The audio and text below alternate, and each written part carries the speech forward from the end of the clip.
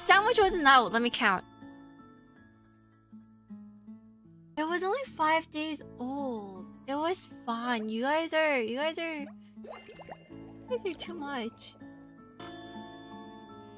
Five day old sandwich isn't bad. I put it in the fridge. I think it tasted okay.